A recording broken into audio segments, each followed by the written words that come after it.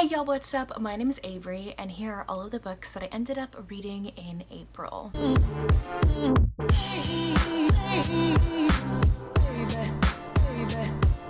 So I ended up reading 21 books in the month of April, which I'm very excited about. That is my normal number for me. Um, so I'm going to tell you about all of the books that I read this month. So the first book that I'm going to be talking about is a book that I'm actually not going to give my opinion or feelings on because it's going to be in a dedicated rating vlog that will be out very soon for you to watch. Um, and that is called The Kiss by M. Robinson. I'm not going to tell you my rating or what I thought about it, um, but this is a friends to lovers college age romance. And yeah, it'll be in that vlog. That'll come out very soon and you'll know my thoughts all about that. I do have one book that I did not rate because it was for my Eastern European class and I just, I didn't feel like rating it for some reason I just didn't and that is The Door by Magda Szabo I'm pretty sure that's how you say it I'm sorry if I'm butchering that um, but this is a a fiction novel all about a uh, Hungarian woman after or during communist rule I don't remember uh, just basically about a Hungarian woman. I had to read it for my Eastern European class. I'm just telling y'all that I read it and I just didn't read it. As usual, we're going to be talking about these books from my least favorite to my favorite, so let's get into the rest of the books. First we have Eirik by Joanna Bell. I read this a part of a reading vlog, a weekly reading vlog. I'll link the vlog down below for you to watch if you want to know my in-depth thoughts at the time that I was reading it, my live reaction thoughts. Um, but this is a Viking time travel romance that I ended up giving 2.5 out of 5 stars to. It's very lackluster, unfortunately, and there were just parts of the book that didn't I didn't feel like needed to be included. Um, the book jumps a lot from the present time period, like our time period, and then it jumps to our heroine when she time travels, like the time she's in when she's in the ninth century. And so it flip-flops a lot. And the stuff that takes place in the present time, like we are in right now, I don't feel like was needed at all for the story. If they, if the author would have just kept only the Viking time stuff, it would have been so much better. I was really bored throughout most of this and I just didn't find the romance all that believable. And yeah, if you want to know more of my thoughts about it, go check out uh, the vlog link down below. Next we have Scarlet's Naughty Christmas by Max Watson. This is a little Christmas novella that I just picked up on a whim because I had it on my Kindle. I got it for free one time. And you know what? I don't have to read Christmas books only during Christmas time. I can read them all year round if I want to. I don't mind. I don't care. This is a romance between a woman who works at like their local, her local mall as like the elf to the Santa during Christmas time. So kids can come take pictures and sit on Santa's lap and everything. And she loves her job so much. She loves like the spirit of Christmas and giving joy to these kids. But every single Santa that this company is a drunk, gross man. Like disgusting, horrible. So she's like, this is the last straw after the last one. Like basically quit on these kids. It's like this is the this is the last straw. I'm done after today. I'm going to quit. And so then the Santa that quits like during or just leaves. He leaves. He gives up on these kids and just leaves through like halfway through the day. The replacement Santa comes and it's this hunky charming dude that is actually pretty nice that is not a drunk. And so Scarlet is like, hmm. uh, and it's just a very short, fun novella that I had a lot of fun with. Um, Nothing good, nothing bad really, it's just a mediocre novella for me, so I ended up giving it a 3 out of 5 stars. Next I have Coming In From the Cold by Sarina Bowen. This is a contemporary romance, and I actually really enjoy Sarina Bowen's books, and so I think this is one of her earlier works. Um, so this book has a lot of tropes in it. It has Stuck in a Snowstorm, um, so that's also forced proximity, uh, One Night Stand to More, um, and a damaged hero. Um, he's also injured in this book. And there's a trope that not a lot of people like, and I'm going to tell you what it is because, like, most people don't like this trope. I didn't know the trope was in there. So if you don't want to know the specific trope that I want to talk about, just go until my hand is down, I guess. Um, but there is an accidental baby trope in this one, like through the book. So I read this book because I thought it had disability rep in it, and it's been on a bunch of Goodreads lists as having disability rep in it, but it it doesn't it doesn't our hero is a, uh, an olympic skier so that's something i found really cool um, and skiing was put in the book a lot our hero in here he has worried his whole life that he has hunting can't say that word ever. Huntington's, Huntington's disease because his mother has passed from it and um, his brother's in the hospital for it currently. So he's always worried that he's had it and so he's he has not let himself become really close to anybody because he thinks that he will die a painful death one day and who basically put pain on those who love him so he chooses not to love anybody in general to not put that pain onto somebody that he has felt from having his loved one his loved ones die from this disease so our hero and heroine at the beginning they're stuck in a snowstorm on this road they both have their own cars both their cars almost hit each other and then they get stuck in the snow and then they end up like um, going in the same car for warmth and everything. They can't drive and it's just snowing everywhere. They end up having a one night stand um, and then it like turns to uh, more because of that uh, trope that I talked about earlier. I think that was the main catalyst and if like that didn't happen they would not be together. And like I don't like those kinds of stories. like because of that one thing because of that only one thing that is like your spark for like okay I'll be with like it no like I just gave it three stars it's not my favorite thing ever I liked the characters individually I just didn't like that little like trope in there that I talked about earlier I didn't like how that was put into that. I'm normally fine with that trope. I know it doesn't bother me as some other people. I actually have a bunch of books that have that trope in it that I pretty much enjoy. But this one just didn't work for me in the fact that that was the main reason why the couple was together in the end. Like that was the main spark for him realizing, oh, yeah, not my favorite thing ever, but I really love Sarina Bowen's writing, so check out her other books. I recommend doing that. then we have When She Was Married by Ruby Dixon. This is book number two, a part of the Risdiverse series. This is an alien romance series all about human women who were uh, abducted by e abducted by evil aliens, and this other alien ends up kind of like rescuing them and buying them um, to put them on this planet that is basically off the grid because um, humans are a hot commodity and are illegal in uh, the universe that they're in. Puts all these women on this planet and gives them their own own farm area to take care of and that's basically their job in life now is to take care of this farm. Um, and so each book is about a woman who is trying to find a husband um, because they are at risk of their farm being taken away from them by other aliens if they don't have a husband to protect them and help them take care of their farm. And in this one specifically our heroine she decides to go to the local jail on the planet and just pretend she's buying one of them as a slave, but in actuality, she's trying to buy herself a husband so that uh, she can be safe on her farm. Nothing too special about this one. So far, this is my least favorite in this Risdiverse series. The first book in this series is actually the next book that I'm going to be talking about, which is When She's uh, Ready by Ruby Dixon. And um, this one is book number one in that series. Same plot as the first one, basically. The, the plot is kind of reused, and I don't really care. I like, like, I'm cool if it's reused. I love Ruby Dixon's writing and I find it so fun and enjoyable to read about. Um, so I don't really care if the plot is reused. Um, this one, this woman, I honestly don't remember, but she does not go to the jail to get somebody. I don't remember, but she has to get a husband too. I liked this one a little bit more than the second one, so I ended up giving this one a 3.5 out of 5 stars. Then we have another alien romance book. We have Alien Wanted by Julie K. Cohen. So this book is another alien romance book, obviously, and this one is about our heroine. She's a human. She was taken from Earth, and uh, she has been bought by this other alien to be his wife. But the day that he is supposed to uh, come pick her up, to be his wife, she he does he doesn't show up. And so our hero in here, he sees this girl like her husband isn't coming to come pick her up or her soon-to-be husband not they're not married yet um, but like he's not coming to pick her up and the only other option for this woman is to go to the city brothel. And so he's like, I don't want this woman to go through that. I will let her stay at my place for the night. And he finds her really attractive.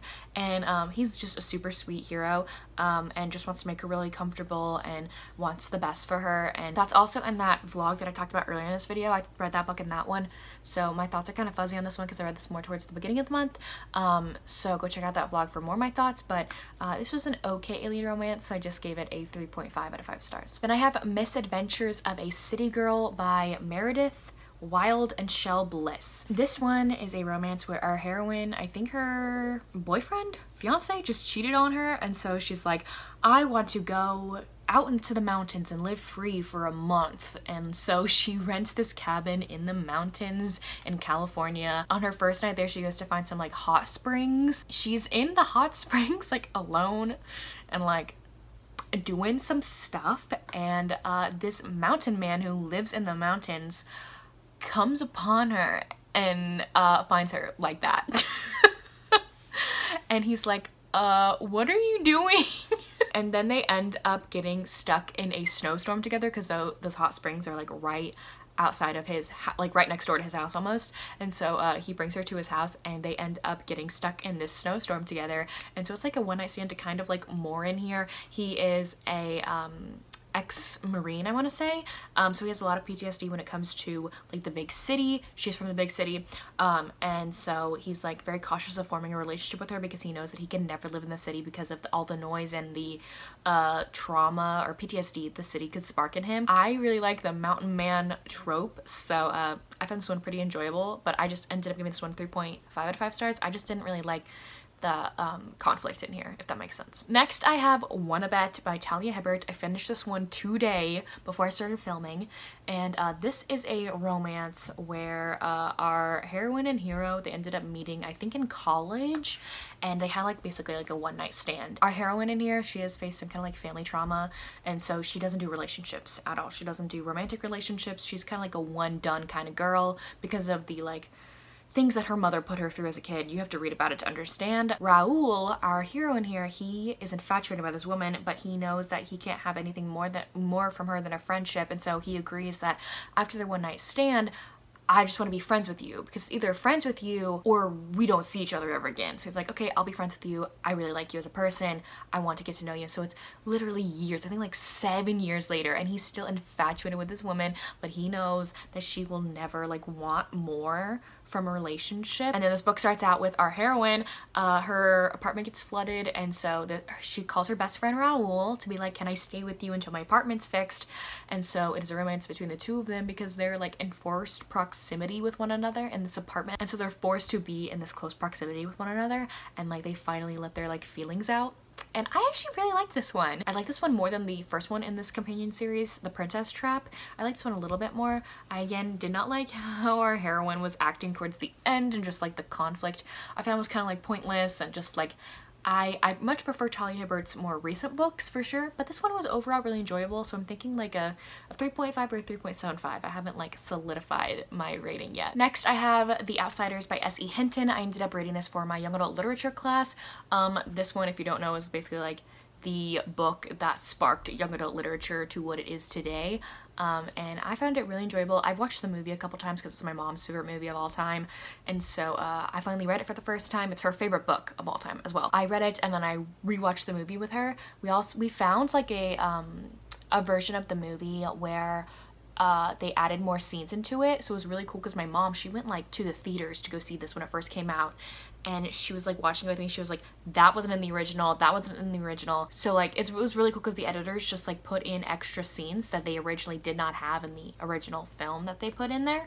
Um, and it was very very very much like the book. It is the most like true adaptation for a book that I've ever watched before which I thought was really cool. But yeah I just ended up reading this for my young adult literature class and yeah I really really enjoyed this one. I just gave it four stars. I'll get my other young adult book out of the way that I read for that class which is the crossover by Kwame Alexander this is a book of poetry, a book of prose in here, so it looks like this. It's very much like The Poet X by Elizabeth Acevedo. It gives me those same feelings and vibes with the writing and just like how lyrical and how it flows well together and how the individual poems really come together. So this is about Josh and uh, he has a twin brother and uh, they play basketball together and this is just him and his brother well him specifically going through some things and his brother is getting a girlfriend and his father's going through some health issues and just like he just wants to play basketball. Like he wants to play basketball and some things in life are like um having him stray from that and uh, he does not want that. But I really enjoyed this one. Uh, my only thing in here of me not giving it a five star is just like Josh in here has some pent up feelings that he like releases and not like the best way. I really wanted him to like talk out his feelings. I wanted him to express them, to talk about what was bothering him, why he was acting the way he was acting. I wanted him to talk it out. And that never happened, and so I was a little bit disappointed. But this was an amazing book that I'm definitely going to be reading to my future uh, kids, future students. I'm very excited. This was an amazing book. I also have another YA lit text to talk about, which is Under the Mesquite by Guadalupe Garcia McCall. Um, this is another book of poetry. This one is really cool. I've never heard about this book before this point. This is just like the crossover with like the poems and everything in there. This one I feel like has more of a lyrical writing style. And our author in here, she, um, I believe, is also from Mexico. And so she puts a lot of, of the Spanish language into this book, which I thought was really cool and it helped the book like flow really nicely. It was very lyrical and beautiful to read about. So this is basically a book about our main character named Lupita and her story of how her family are immigrants from Mexico and it was really cool. And it also takes place in Texas. And so it's just really cool to read a book that takes place in Texas because I very rarely read books that takes place in Texas um, that I feel like truly like are authentic like settings you know like Texas settings and like this is it. And so I really like this one. You get to like see her journey of her like growing up in her family and her being from Mexico and America. Like she calls both of them home and um, I really enjoyed this one. And this is definitely one I want to buy a physical copy of for my library collection. Then I have Getting Schooled by Christina C. Jones. This was a buddy read that I had with Heather from Hea Booktubes. Uh, she picked this book out and I've been wanting to read this for a while because I forgot like that this hero in here um, is an amputee. And so I can add this to my disability recommendation videos. I really enjoyed this one. This was really fun to read with Heather.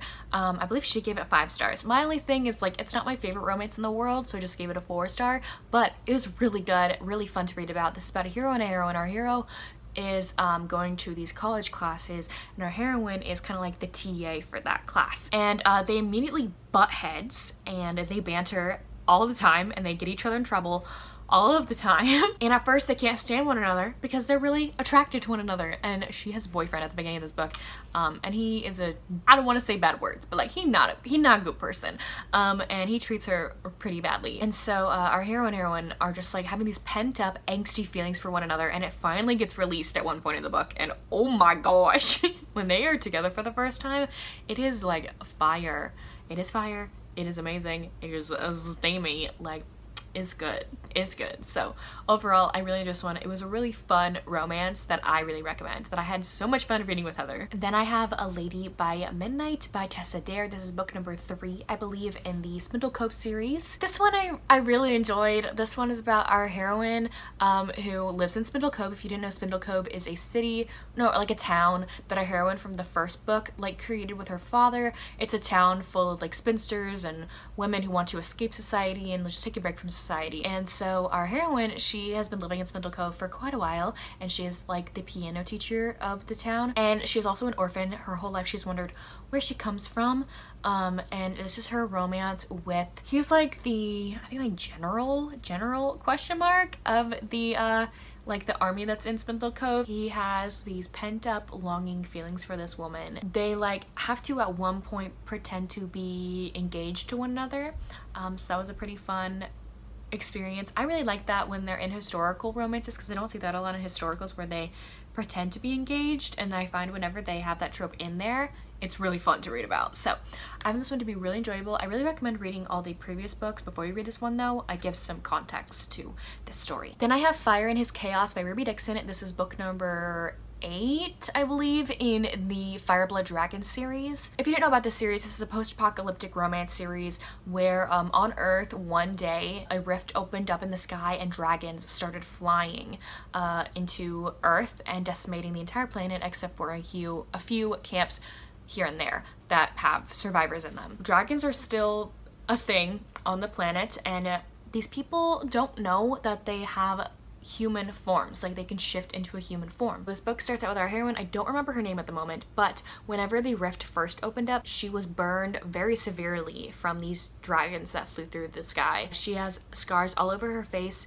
and she's an amputee. Uh, she lost her arm the first day that the dragons flew through the rift. And so she's always called herself ugly and she's not worried about men hitting on her or unwanted men hitting on her um, because of how ugly she is or she says she is. She's part of this program that's part of this uh, fort city um, and she has to like go outside of the city every single day uh, to collect some stuff and she has to have a guard with her every time. While she's out there one day like a guard tries to force himself on her and then a dragon comes and saves her and then claims that that is his mate. Each book also has mates in them. If you did not know, I love the mate trope and I found this one to be super fun. So I just gave it a 4 out of 5 stars. My only 4.5 star from this list is Most of All You by Mia Sheridan. If the name of this author sounds familiar to you, that's because this is the same author who wrote Archer's Voice that I and many other people in the romance community love. So this is a romance I can't tell you all that much about because like I don't want to spoil it. but this book is basically about Crystal and Gabriel and both of them have tragic and traumatizing pasts. Uh, Crystal uh, comes from a home where her mother abandoned her with a somewhat abusive father, and Gabriel um, is the survivor of a kidnapping when he was a kid. So it's years later after the things they've been through. Crystal now works as a stripper. She works at a strip club, and Gabriel goes in one day to the strip club with the intent of talking to Crystal about helping him with a problem that he has. Uh, when he was kidnapped, he was molested by the man who took him, and so he's had a very, very hard time getting close physically with women. Because of that. He has uh, PTSD around it, um, and so he asks Crystal if he can hire her to help him be close to women, not even in a intimate way, kind of like a just touching me, just touching my hand, holding my hand, just like being in a close vicinity with me, just like I need to like just do those things at first, like I just need you to help me feel comfortable being around women. So that's how this book starts out. And I can't tell you even more than that because that would spoil it, I feel like. Um, but this book was very emotional. It deals with a lot of hard subjects in here. There is assault, sexual assault, um, pedophilia. There's a lot to unpack in this book and this is definitely not for the faint of heart. So if you're wanting a, a, a, fun, cutesy read, this is not it.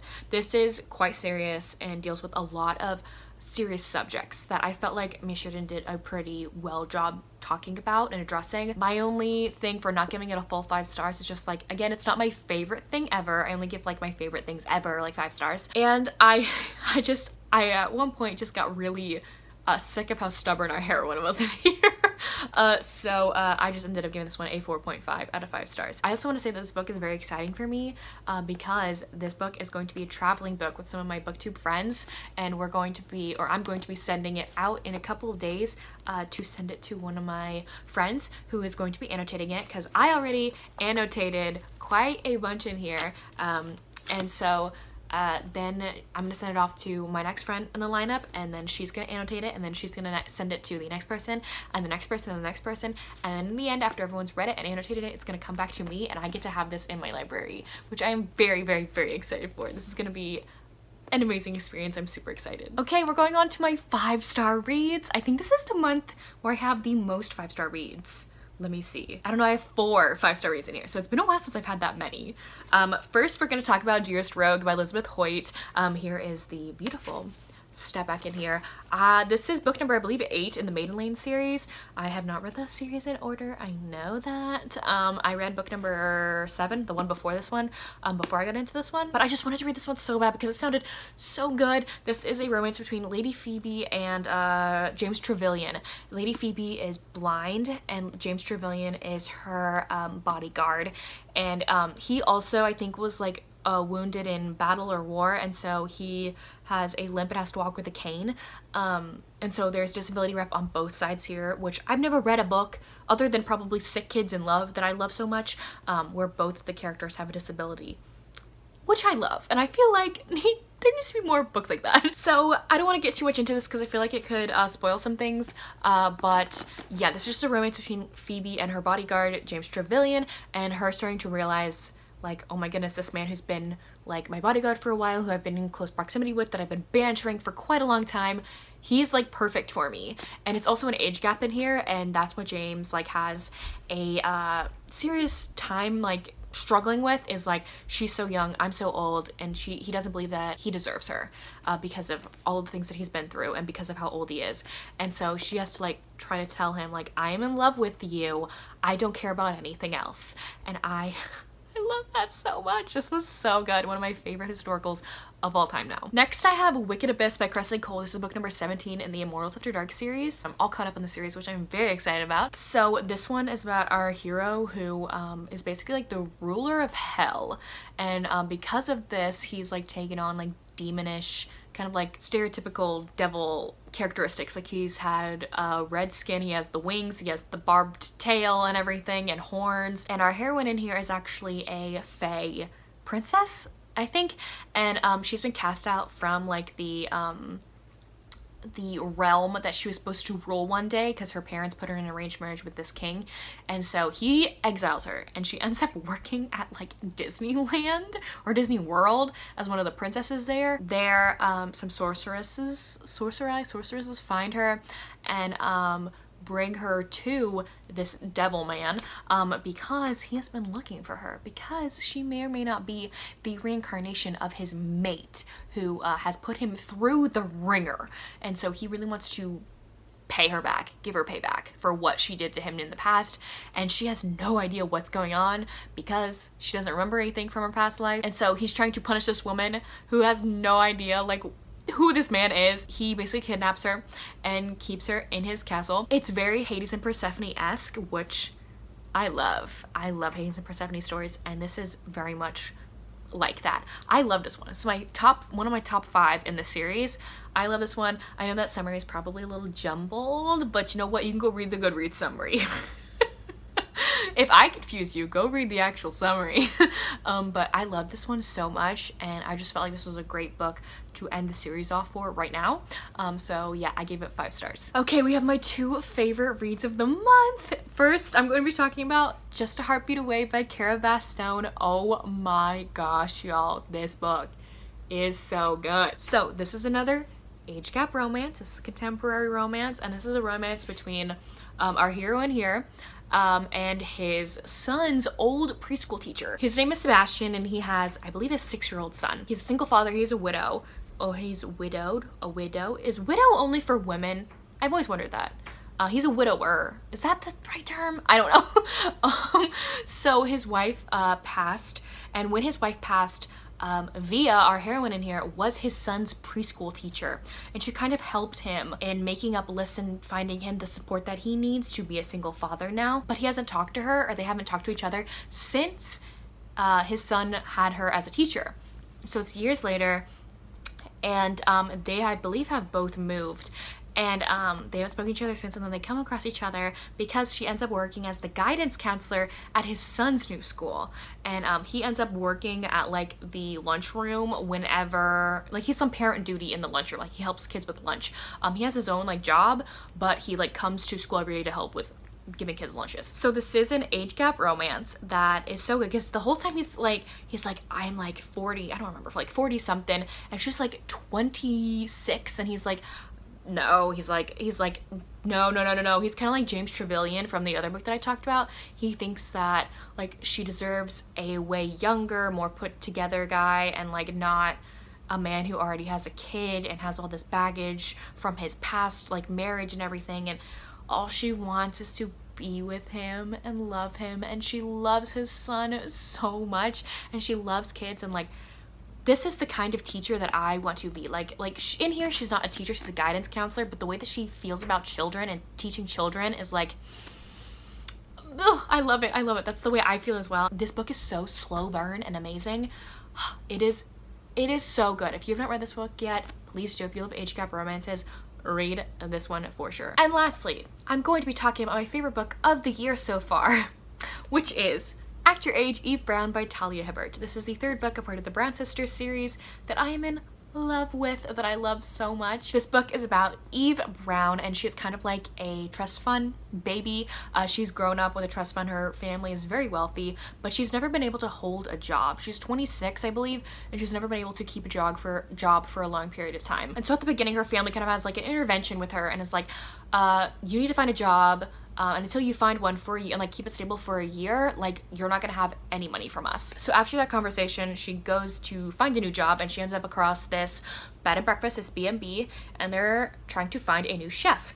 And jacob here our hero is the owner of that b&b right when eve like walks into the uh interview room, he immediately does not like her because uh, she is not put together very well. She is not prepared for the for the interview at all. And he likes order and cleanliness and just organization. And Eve looks like to be none of those things. Um, and so she kind of like inserts herself into his life, into this B&B. And oh my gosh, this book is perfection. Like perfection, amazing a beautiful, beautiful read and just like hilarious too. Like I love this book so much. It has everything that I love in this. This also has disability rep because Jacob is autistic and um, I love this book also because like Eve is trying to uh, discover things about her own self when it comes to autism and like uh, learning more about it and everything and I love the talk of that in this book and overall this book is just perfection and amazing and if you have not read this book yet or this series yet, what are you doing